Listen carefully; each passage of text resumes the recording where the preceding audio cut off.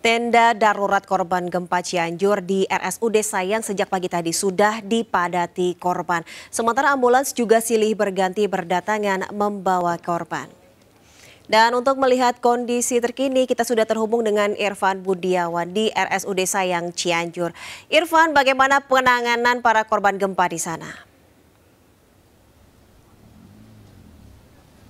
Ya, Deswita dan juga pemirsa saat ini di Rumah Sakit Umum Daerah Sayang Kabupaten Cianjur masih terus dilakukan penanganan bagi para korban bencana gempa bumi yang terjadi pada hari kemarin.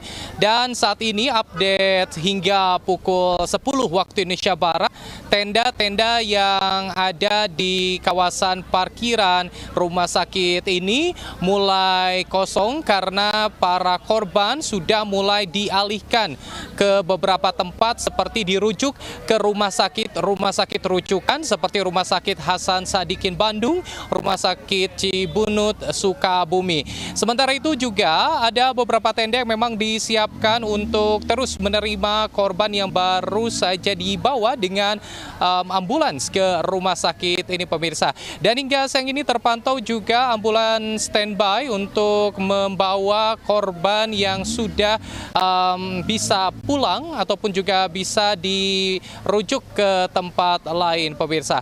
Selain itu juga beberapa tenda yang memang disiapkan oleh aparat uh, petugas gabungan seperti TNI, Polri, Basarnas, lalu juga tadi pagi um, ada juga dari Kementerian Sosial langsung uh, dihadiri oleh Menteri Sosial Tri Risma hari ini. Sementara itu sekira pukul 8.30 waktu Indonesia Barat, Kepala Staf Angkatan Darat Jenderal Dudung juga hadir untuk meninjau secara langsung seperti apa kondisi para korban yang ada di RSUD Sayang Kabupaten Cianjur ini. Sementara kebutuhan logistik di tempat pengungsian ini masih juga terus berdatangan pemirsa.